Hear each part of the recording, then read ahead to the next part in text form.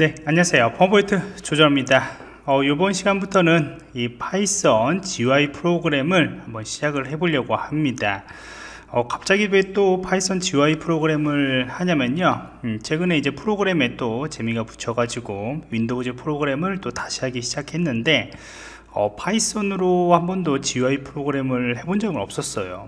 그래서 한번 공부도 할겸 저도 공부할 겸 Python GUI를 좀 공부하기 시작했고요. 또 이것에 이어서 나중에 Pygame이라는 어, 라이브러리를 이용해서 한번 게임도 한번 또 같이 제작을 하는 그런 시간을 가지려고 합니다. 자 우리가 GUI 프로그램이라고 한다면은 뭐 Notepad를 기준으로 설명을 하면은 이거는 이제 Windows 프로그램으로 만든 거죠. Windows API 프로그램을 만든 건데 이것도 똑같이 이제 Python GUI 프로그램을 이용하면은 똑같이 만들 수가 있습니다. 그래서 우리가 GUI라고 하면은 이제 사용자 들이 편하게 사용할 수 있는 이런 화면에 이런 메뉴들 이런 것들을 이제 GUI 프로그램으로 되어 있다 라고 이야기를 하게 되는 것이죠 자 그러면 이제 Python GUI 프로그램은 어, 대표적으로 tkinter라는 어, 도구로 아, 모듈로 예, 만들게 됩니다. 그래서 우리가 어, tkinter는 어, Python에 기본적으로 예, 설치가 되어 있기 때문에 별도 설치 없이 여러분들이 Python 프로그램을 예, 환경을 설치를 했다면 바로 활용을 할 수가 있어요. 자 그러면 이제 뭐 말이 길어졌기 때문에 바로 진행을 한번 해보도록 하겠습니다 어, 다른 뭐 에디터를 사용하지는 않고요. Python에서 기본적으로 설치되어 있는 Python IDLE 에디터를 그대로 사용할 것이고요.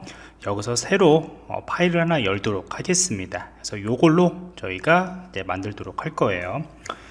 첫 번째는 이제 tkinter라는 예, 모듈을 불러 와야겠죠? 그래서 import tkinter 이렇게 가져오고요. 항상 이거는 이제 기본입니다. 기본으로 가져오고요 그 다음에 우리가 하나의 객체를 만들 겁니다. 그 객체라고 하는 것은 이 객체를 통해서 안에 있는 어, 이 객체 안에 있는 다른 또 함수들을 사용해서 여러 가지들을 이제 표현을 할 수가 있는데 win이라고 예, 선언을 하고 tkinter 그 다음에 tk라고 이렇게 선언을 하면 됩니다.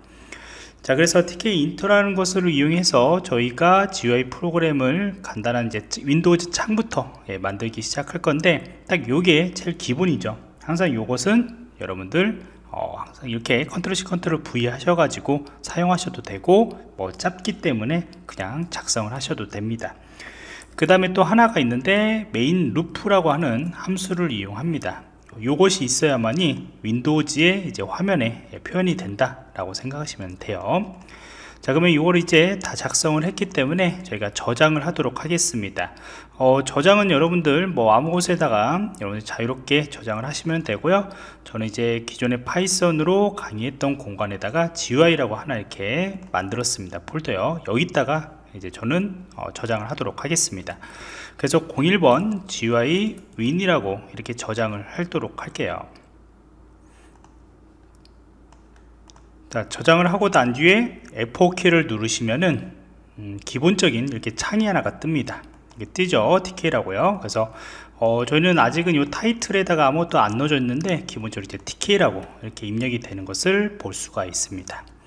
그래서 이거를 뭐 티킨터라고 또 이야기하기도 하는데요. 그냥 TK 인터라고 이야기를 할게요. 자 그러면 이제 여기다가 우리가 타이틀도 넣어주고 그 다음에 Windows 크기도 어, 조정을 해야겠죠 어렵지 않습니다.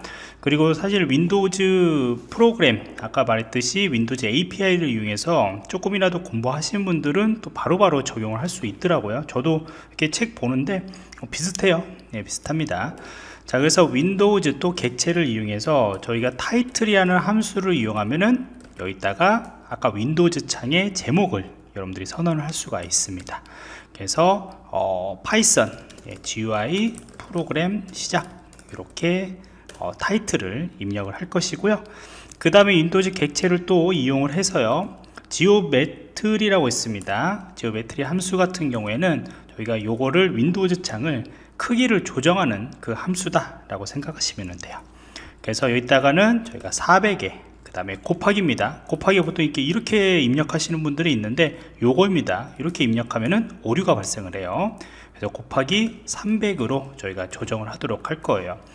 그래서 요거는 여러분들이 어 뭐 크기는 자유롭게 조정을 할 수가 있습니다. 그래서 픽셀 기준이다. 여러분들 해상도 예, 그 기준이에요. 그래서 F4 키를 눌러서 다시 실행을 하면은 아까하고 달리 여기에 타이틀이 이렇게 음, 입력된 것을 볼 수가 있고요. 그 다음에 이게 바로 이제 400에 30의 예, 픽셀 크기로 이렇게 정의가 되어 있습니다. 자, 굉장히 쉽죠? 어렵지 않습니다. 자 그래서 여기까지 우리가 어, tkinter를 이용해서 간단하게 어, 우리가 Windows 이렇게 환경 그 타이틀 있는 포함된 윈도우즈 창을 하나 생성하는 것까지 예, 살펴봤고요. 항상 이게 제일 기본이기 때문에요. 이것을 가지고 뒤에 있는 어, 프로그램 어, 실습을 계속 이어 나가시면 어, 됩니다